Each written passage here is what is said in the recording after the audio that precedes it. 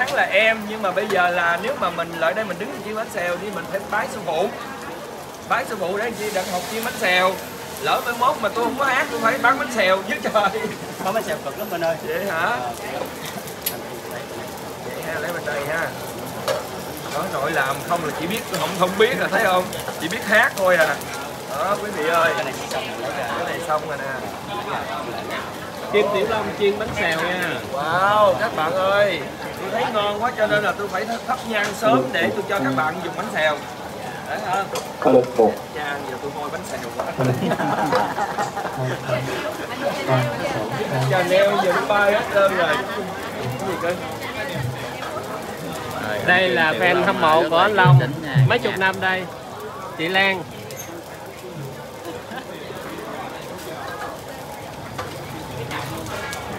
Chị thấy hôm nay sao chị? Lên nhà anh Long thấy sao? quá vui.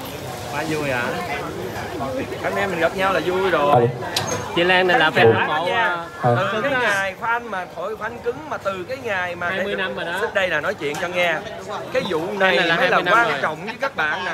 Cái vụ này là cái vụ bí mật nha mà hôm nay tôi phải khui nè. Đi coi anh Long hát. Mà từ hồi lúc bao nhiêu tuổi? Dạ 22 22 tuổi cho tới bây giờ quý vị biết là coi như là không lấy chồng luôn. Có nghĩa là đến lấy hỏi ủa sao tụi em lớn tuổi vậy mà tụi em chịu lấy chồng vậy đó trời ơi lấy chồng mà đi coi anh hát nó đánh phù mỏ rồi sao? Cho nên là thôi tụi em ở như vậy.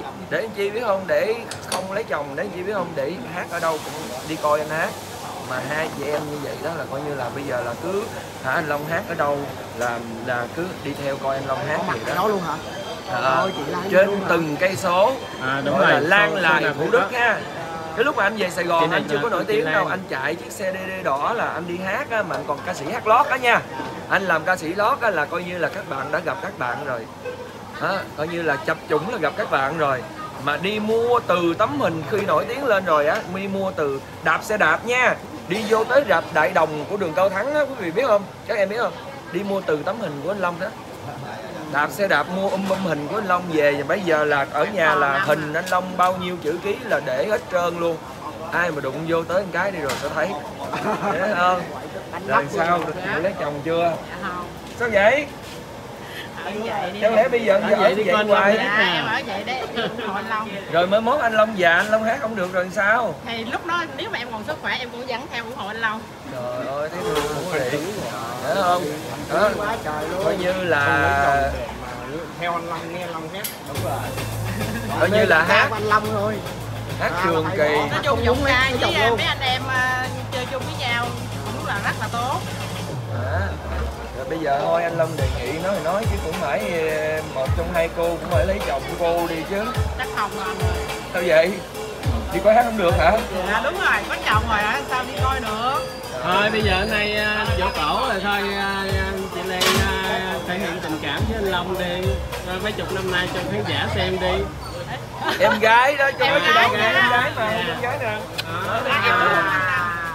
wow anh em thân thiết. Hả coi như là trong gia đình luôn. Ok. Quý vị thấy không? đâu phải là nhân viên nghệ sĩ mình nó nói với hạnh phúc lắm các em ha. Là tự nhiên là có những người fan trung thành những người thương yêu mình mà gọi là gọi là tuyệt đối luôn á.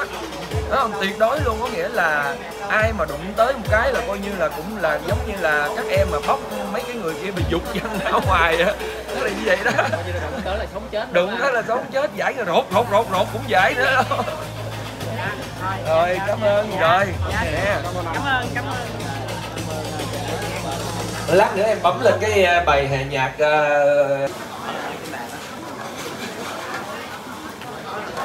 à, tổ chức lễ dỗ tổ sân khấu ở à, nhà của à, nghệ sĩ à, rất là nhiều cảnh sự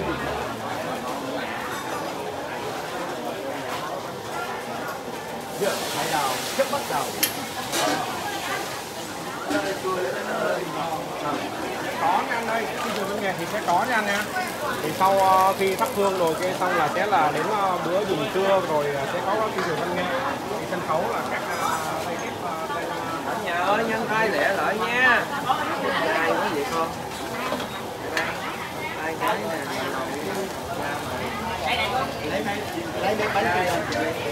nói hả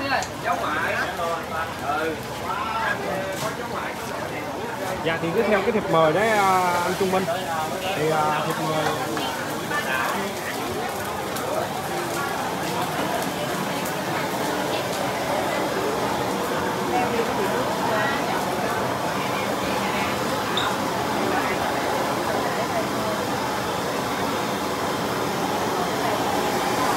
Nó rất là nhiều món cay cũng như là bánh xèo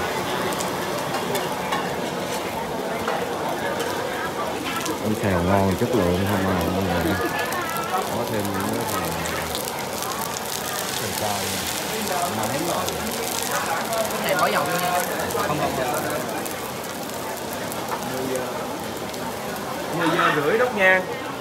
Mười giờ rưỡi đốt nhang Trung Từ Long mới nói xong là 10 giờ rưỡi sẽ đốt nhang.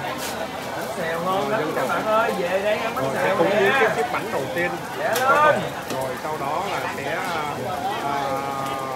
mời các khách à, để dùng tiệc thì à, sẽ giống như là một buffet rau đó kìa các em thấy không rồi cái dàn rau không mà mình đứng là mình nuốt nước miếng rồi ha đúng không bánh xèo là, là sẽ ai ăn cái gì sẽ cầm dĩa cầm đồ đi ăn tự ăn mình tự ăn muốn ăn cái gì tự lấy đúng không sẽ không như là, phục vụ trước mà đây là mình giống ăn buffet anh Long đã cho phục buffet ai muốn ăn cái gì giống mình cái đơn giản như bánh bánh xèo là ai ăn bao nhiêu lấy rau. Mình sẽ xem bên này mình lấy rau. Nhìn rau rất là tươi xanh nha cả nhà. Thì à, bên này là rau rau này xèo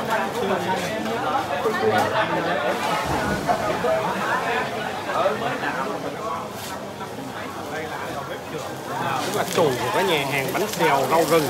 Bánh xèo phố rừng. Ở phố rừng. Phố phố thành. Xin lỗi. Phố thành rau rừng. Phố thành. Đã phố rồi còn rừng nữa. Kỳ còn phố thành. Phố thành. Trời ơi. Tôi phải để bụng lát tôi phải ăn hai cái. Dạ ok anh Trung Minh. Thấy không? Bánh này là đổ liền liền ngon lắm anh. Ăn liền hả Dạ, cầm cây mà anh đi. Thì vậy nếu như vậy ăn liền thì anh phải đi vô thắp nhang tổ trước. Bạn rồi rồi xong cho các bạn ăn. Ăn liền ừ để thắp nhang cái đã Thắp nhang cái đã. Thanh chưa xong mà. Để âm thanh em ơi âm thanh mình nói chuyện được chưa? Micro mình nói chuyện được chưa? Mình làm để làm sao là micro mình nói chuyện? Chị mẹ chơi tự nhiên nha. Chơi, chơi tự nhiên nha em hãy tiếp khách nha. Ok mọi người chơi tự nhiên nha. Chị rồi chị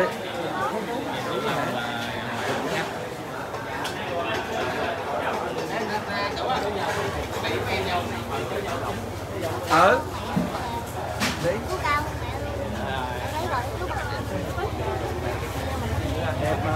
đi kỹ vậy? Ờ ờ ờ ok. Ok ok.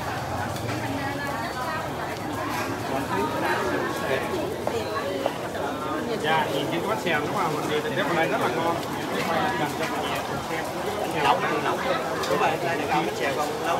Anh Long thấy thế nào? Bánh xèo hôm nay thế nào đây? để tôi chiên bánh xèo thử coi nha. À, anh Long sẽ